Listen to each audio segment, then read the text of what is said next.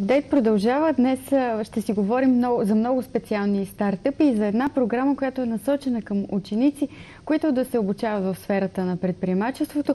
При мен вече са Светлана Савова, която е ръководител на проекта Ти иноватор, както и финалистите от стартъп състезанието Лилия Панайотова и Надежда Цачева. Здравейте и добре дошли. Момичета, представете накратко идеята, с която спечелихте.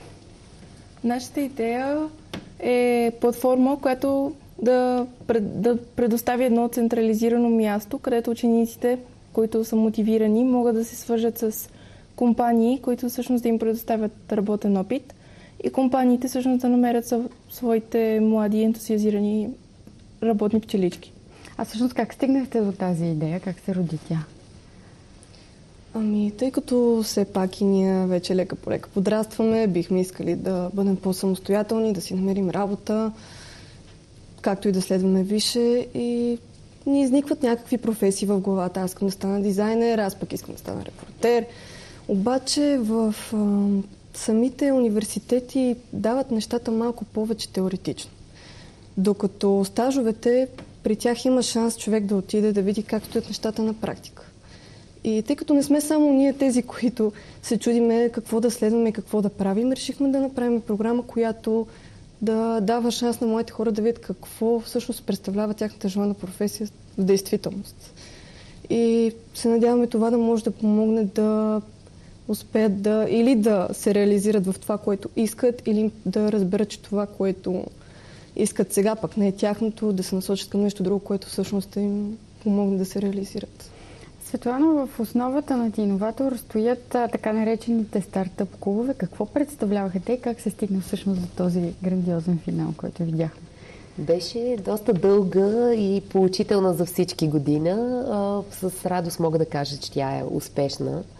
А, започна се с а, отбори, стартъп отбори в а, сградите на училищата, където ментори работеха с а, групи ученици. Първият етап беше да се така развият техните меки умения, умения за работа в екип, за комуникация, за това да не ги разочароват а, провали, да могат да питат и така нататък. И а, след това минахме към фаза, в която те генерираха а, идеи и то по-скоро търсеха проблеми и след това отсяваха с помощта на своите ментори тези идеи и проблеми и търсеха решения, като ги развиваха а, до степен а, бизнес идея. И то не само бизнес идея, а успешна такава, такава, която могат да представят пред жури инвеститори накрая и да ги убеди, че това наистина а, може да бъде бизнес и да се изкарват пари от него. А в такъв случай как планирате да печелите от тази платформа, която сте създали? Ами, много се чудахме за това и решихме да направим платформата напълно безплатна за ученици. Но, например, фирмите, след като качат определен брой а, стъжански програми, могат след това да ще им бъде въведена някаква такса, която всъщност ще бъде а, след, например, три обяви и те трябва да а, платят. А всъщност ще видим ли официално тази платформа реализирана в някакъв момент или на този етап остава като идея? Планирате ли наистина това да се превърне във вашата бизнес идея, която да осъществите след като завършите училище? Ами, всъщност ние вече реализирахме платформата. Тя е качена вече в онлайн. А, вече имаме 21 фирми, които а, в момента си качват обявите и сме се свържили с 12 училища, които всъщност а, учениците от тях а, вече а, са си направили профили и кандидатстват.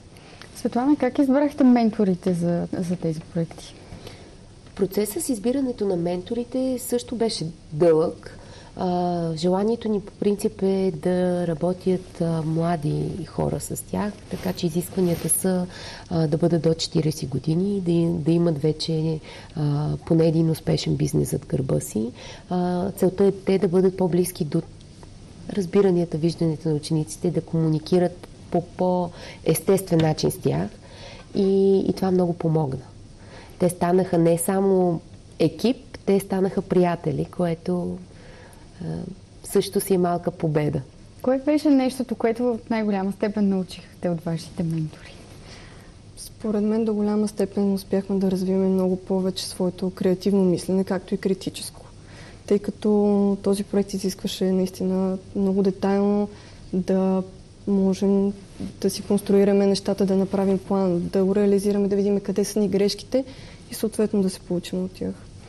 Сега ви предстои да отидете в Словения на една акселераторска програма. Какво очаквате от нея? Това, което очакваме от тази програма, предполагаме, че ще бъде доста интересно, доста забавно. Ще получим много нов опит, много съвети и се надявам да ни хареса поне. А Светлана, по какъв начин тази акселераторска програма ще се различава от стандартните, които виждаме вече в зрели хора, които ходят да представят своите бизнес идеи и да ги развиват там всъщност? По нищо. В смисъл, акселераторската програма е съвсем реална. Те ще имат възможността а, първия ден да прекарат а, с а, основателите на, на програмата, които да им дадат така малко ноу-хау, понеже това, което правим ние за първа година, те го правят от доста дълго време. След това ще имат възможността да ходят в различни а, успешни стартъп компании а, и оттам да, да почерпят своя опит. Всичко това ще им даде достатъчно така, опит и а, мотивация да си доразвият, ако не са до край идеята си, а, за да я представят а, на международния финал през септември, който, между другото, ще се проведе в, в Дума на президента на Словения и така ни очаква още едно вълнуващо събитие тогава. А Словения ли е всъщност е родината на Тиноватор? Да, тъй като основателя на програмата е словенец, той измисля идеята си докато е на обучение в Штатите. Така че реално я така зачева в Штатите, пък прибирайки се в Словения, започва да я реализира там и тя вече се а, реализира в 9 държави на три континента. Всъщност ученици от Словения, ваши връзници, дойдоха в България съвсем наскоро. А какво ви донесе срещата с тях, чисто от предприемаческа гледна точка? Ясно, че сте завързали приятелства и че сте намерили едни хора, с които споделяте общи интереси, но все пак, чисто бизнес частта, какво ви донесе? Отново ни донесе опит, както така. Те споделиха нашия с т.е. техния с нашия.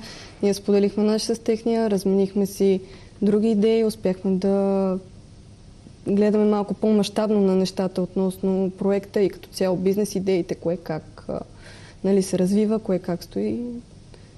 Като цяло си разменихме главно опит. А кое беше най-голямото предизвикателство за вас като екип? За нас като екип беше доста трудно да се организираме всъщност.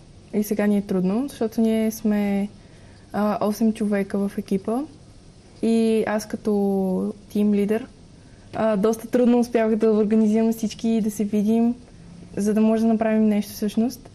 И Ави, нашата менторка, всъщност доста ни помогна за това.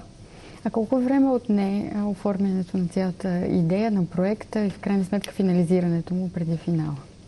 Не би могло да се каже с точност, но Самата идея, нали, сайта и всичко това, мисля, че нещо от сорта на месец. И след това вече се почнаха всичките тези планове, кога да се видим, какво всъщност трябва да се направи, къде би могло да има грешка, чисто като код, който седи зад програмата или като дизайн, начин по който изглежда самия сайт и такива древни неща, които са много ключови. А кой стои зад кода, да кажем? Самите вие ли сте, сте го написали? Ние а, не се докосваме до код, както казваме. А, всъщност писателя на самия сайт е Алекс Цветанов. Той а, е 10 клас и всъщност от много малък програмира и сам буквално... Не част написа... от екип. Да, част от екипа е. И сам написа целият сайт всъщност с помощта на Рангел Плачков. Добре, Светлана, ясно е, че ти иноватор работи по една доста различна методика. Какво е по-специфичното за нея, когато говорим за работа с деца, които трябва да съчетават едновременно училището и съответно живота на възрастни предприемачи в случая? Аз не мисля, че е много трудно да го съчетават, тъй като програмата сама по себе си е доста разчупена, няма теория, всичко изцяло практически умения има фиксирано чисто фиктивно време, което те трябва седмично да прекарват със своя ментор. Но реално целта е да запалим тяхната страст и желанието е да превърнат своят проект в хоби и да започнат да работят много повече, така че да успеят.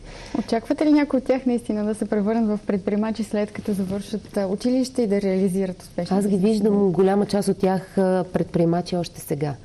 Uh, голяма част от проектите, които се представиха на финала, uh, реално имат първите си клиенти, което е първи индикатор, че това нещо е успешно и явно хората имат нужда от него.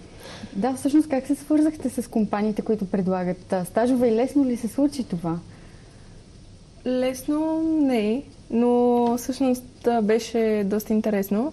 А, свързахме се чрез тях, свързахме се с тях чрез различни а, кариерни ориентации, например тази в НДК. Оттам всъщност намерихме доста голяма част. Също така чрез а, различни организации, които ни станаха в последствие партньори и работим с тях. И да. А усетихте ли някаква бариера от това, че сте ученици и все пак бизнеса не е склонен съвсем да ви се довери или напротив бяха готови да ви протегнат ръка в този момент? Първоначално ни гледах с доста презрение. Все пак ние сме някакви там 16 годишни, отишли при тях да ги молят за нещо, което няма как нали, толкова лесно да стане. Но последствие, след като видяха, че всъщност имаме доста голям потенциал, самата ни идея е добра, решиха, а, много бързо се решиха всъщност да ни помогнат и бяха много ентусиазирани. Добре, Светлана, какво от стартъп средата се опитахте да им предадете? Този опит с компаниите, по-скоро работата с ментори. Кое беше водещо? Работата с менторите е една от основните, но а, зад менторите седи и техния опит, а, който те успяха да предадат и така да ги запалят и да ги, да ги заразят с това.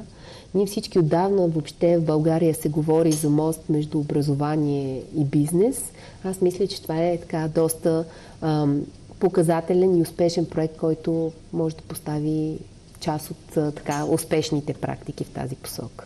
А вие какво си, си взехте сами от стартъп средата? Какво научихте най-много? Аз специално доста успях да се разчупя започнах да гледам по-масштабно на света, започнаха да ми идват разни идеи, които потенциално биха могли да се превърнат в бизнес идеи. И това, цялата тази програма успя по някакъв начин доста да засили моето чувство за креативност и да ме накара да мисля малко повече извън кутията, която по принцип е доста ограничаваща, особено при учениците, тъй като те не знаят какво следва след като завършат 12-ти клас. Те вече мислят като предприемачи. Две крачки напред. И какво си взех? Аз лично а, се научих, че трябва първо да мисля, преди да всъщност да почна да бълвам идеи.